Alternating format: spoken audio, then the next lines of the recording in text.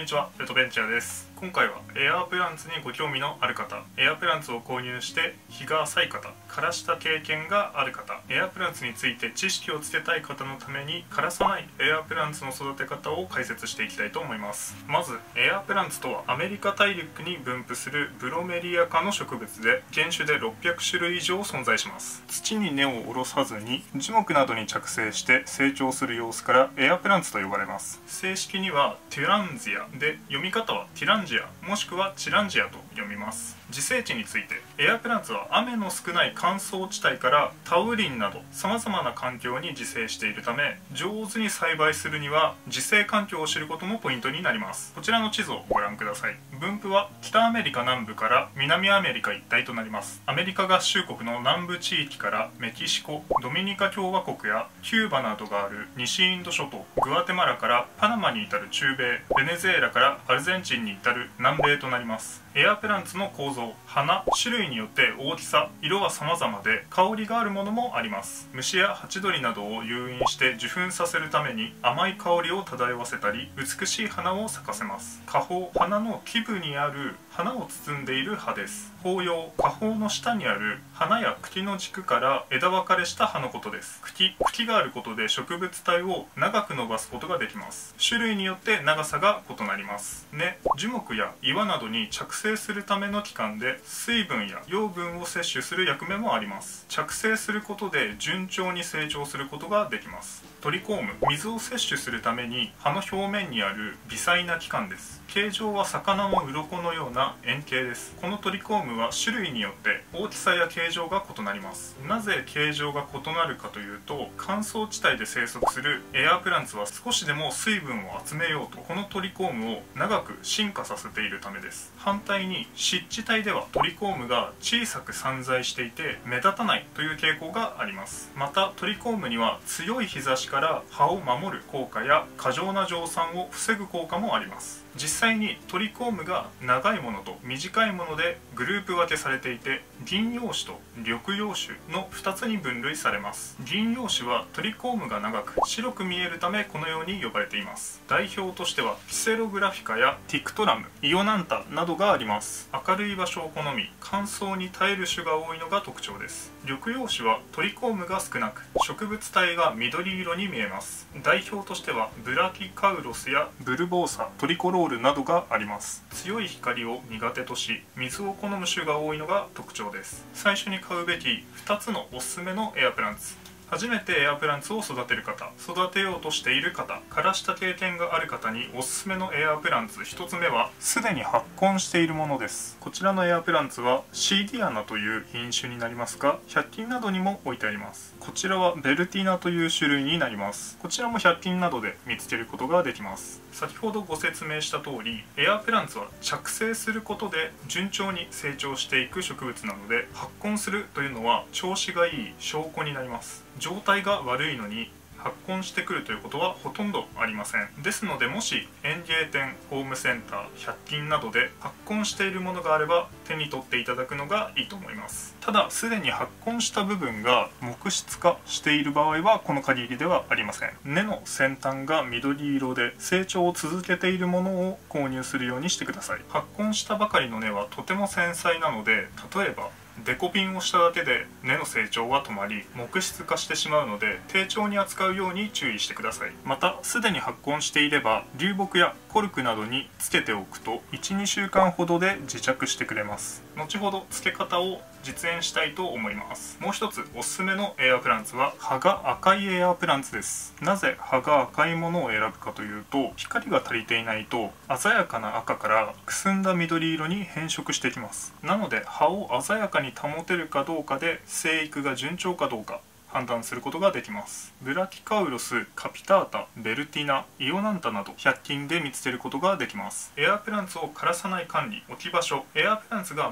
最も好む光は木漏れ日です。樹木などに着生するエアプランツは柔らかい光を好む傾向があります。ですので年間を通して明るい半日陰となる場所に置きましょう。この半日陰というのは1日の半分くらい日光が当たる場所もしくは日向の半分くらいの明るさがある場所であるということです。一日中直射日光に当たり続けていると葉焼けをしてしまい大きなダメージとなる可能性があります。もう一つエアプランツが好むものがありそれは風です。風通しの良い環境では植物の葉特に裏側にある光合成や呼吸を行うための気候の開閉を促進してくれるようになります。風があり空気が流れる環境では光合成や呼吸が促進されるだけではなく温度調節や植物体内の水が水蒸気になって外に発散する蒸散を促す効果もあります。成長期である春から秋にかけて最低気温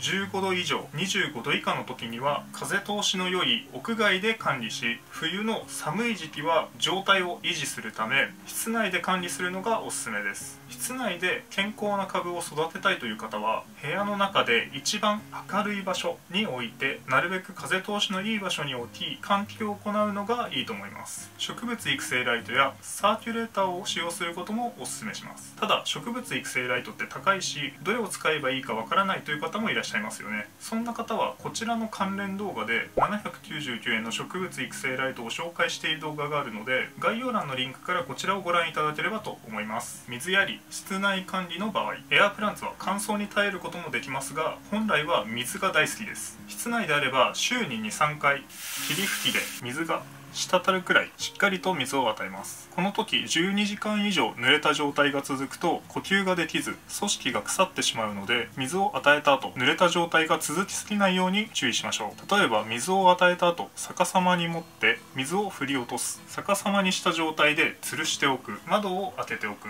サーキュレーターを回すというのも有効な手段です。室内が乾燥している場合は毎日水やりをする方がよく成長するのでまずは2日に1回水を与えて様子を見るのがおすすめです。ちなみに水が足りていないとこんな症状が出ます。持った時に軽い。葉先が枯れる。葉が内側にカールする。こういった水不足のサインが出ていたら水やりを増やしましょう。水は霧吹きで与える。ミスティングやバケツなどに水を張ってそこにつける。ディッピングがあります。洗面台や浴室で水やりをすれば床や壁を濡らさずに済みます。低温時の水やり植物は低温でも生きていけるように細胞を変化させることによって代謝を上げようとします。寒い時期に草子が変化するのはこのためだと私は考えます。細胞の変化にエネルギーを使っており光合成をするエネルギーがなくうまく水を分解することができないため水を与えられると腐ってしまいます。冬は室温が10度以下になったら水を必要としなくなるので週に1回程度に減らし